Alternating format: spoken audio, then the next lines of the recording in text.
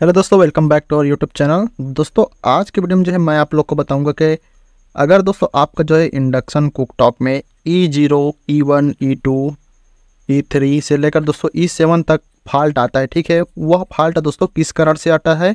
और आप जो है उस फॉल्ट को कैसे जो है दूर करोगे, ठीक है? दोस्तों, इस वीडियो में जो है सारे फॉल्ट के ऊपर दोस्तों मैं जो है डीपली जो है चर्चा करूँगा। तो दोस्तों वीडियो में जो है लास्ट तक बने रहिएगा।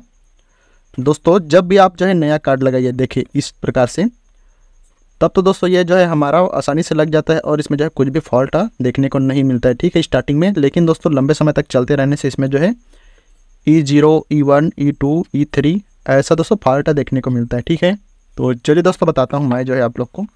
दोस्तों, जब भी आप जो है नया कार्ड परचेस कीजिएगा तो दोस्तों देखिए उसके एक जो है पैकिंग रहता है तो दोस्तों इस प्रकार से। ठीक है, उसमें दोस्तों यहाँ पे देखिए यहाँ पे देखिए फॉल्ट दोस्तों यहाँ पे जो है, देखिए फॉल्ट कोड दोस्तों यहाँ पे जो है दिया हुआ है।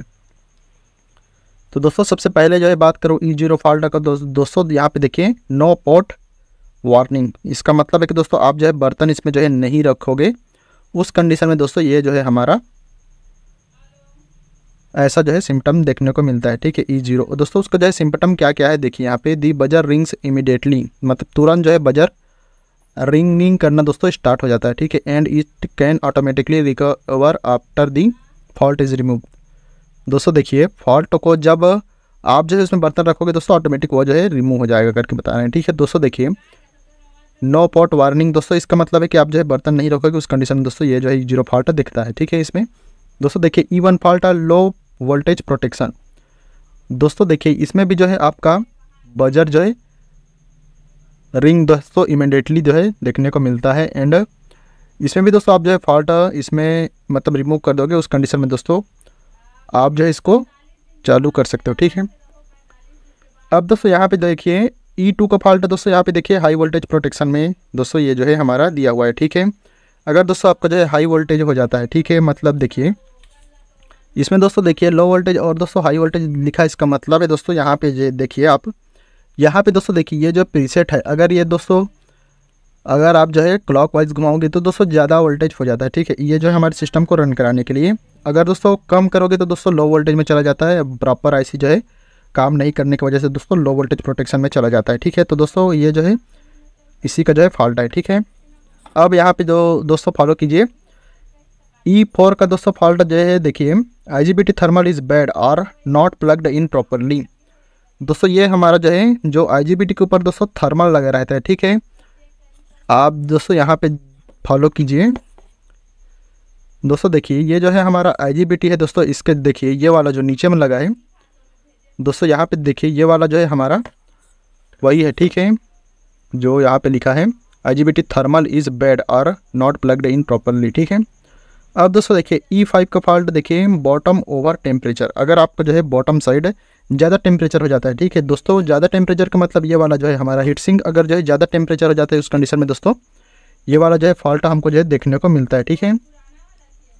अब दोस्तों, यहाँ पे देखिए एक और फॉल्ट है। यहाँ पे देखिए ई सिक्स करके लिखा है तो दोस्तों the bottom of the furnace is thermally damage or plugged damage मतलब दोस्तों, देखिए ई सिक्स का फॉल्ट दोस्तों आपको जो है तब देखने को मिलता है जब जो है आपका फर्नेस ठीक है?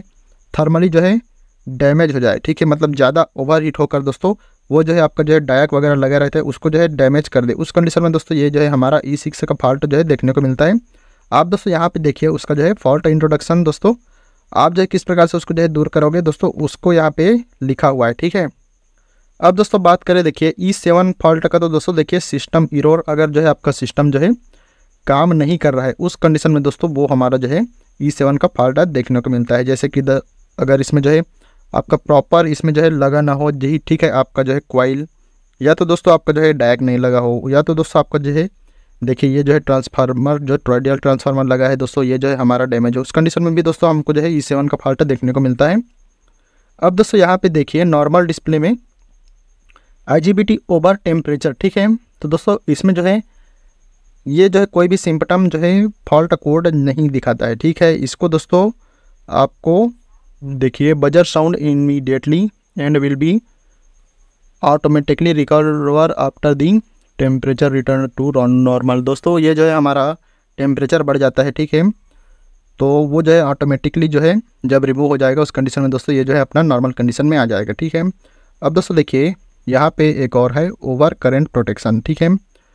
No alarm sound it can recover by the it दोस्तों इसमें जो है कोई भी आपको जो है सिम्टम देखने को नहीं मिलता है ठीक है इसको जो है खुद ब खुद आपको जो है सॉल्व करना पड़ता है तो दोस्तों देखिए इस प्रकार से जो है फॉल्ट आपको जो है देखने को मिलता है अगर आप जो है नया इंडक्शन जो है परचेस करते हो दोस्तों स्टार्टिंग में जो है फॉल्ट देखने को नहीं मिलता ठीक है जब दोस्तों वो जो है पुराना होता जाएगा तो दोस्तों ये जो है बारी बारी से आपका जो है कुछ भी दोस्तों फॉल्ट शो करने लगता है ठीक है देखिए यहाँ पे E zero E one E two E four और दोस्तों ई सेवन तक ठीक है तो आई होप दोस्तों इस वीडियो में जो है ये जानकारी आपको अच्छा लगा होगा अच्छा लगा तो दोस्तों एक जन लाइक ज़रूर कीजिए। चलिए दोस्तों मिलते हैं नेक्स्ट वीडियो में।